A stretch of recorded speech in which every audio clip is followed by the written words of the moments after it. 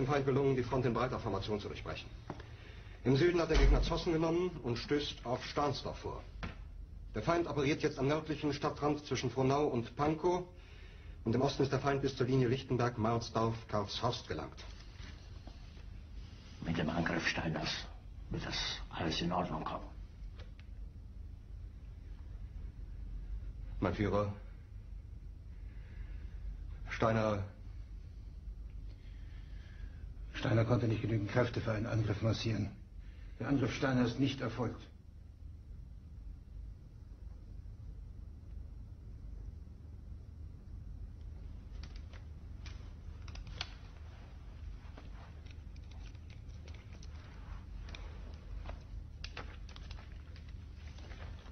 Es bleiben im Raum Keitel, Jodl, Krebs und Burgdorf.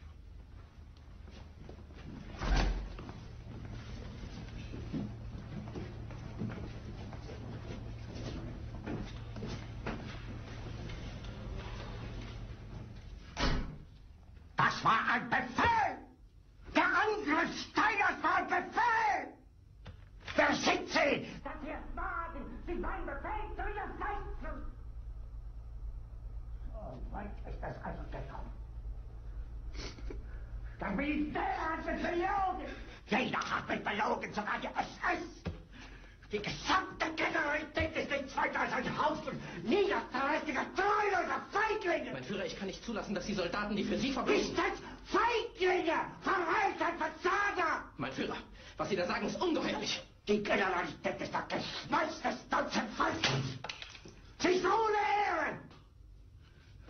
Sie nennen sich Generale, weil Sie Jahre auf Militärakademien zugebracht haben, nur um zu lernen, wie man Messer und Gabel hält!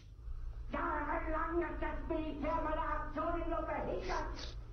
Es hat mir jeden ersichtlichen Widerstand in den Weg gelegt!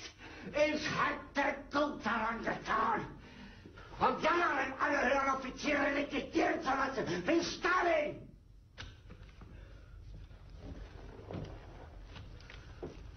Ich war nie auf einer Akademie.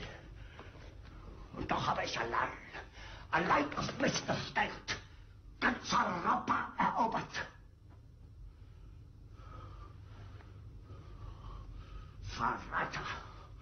Von allem Anfang an bin ich so verraten und betrogen worden.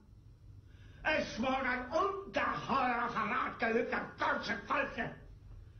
Aber alle diese Verräter werden bezahlen. Mit ihrem eigenen Blut werden sie bezahlen.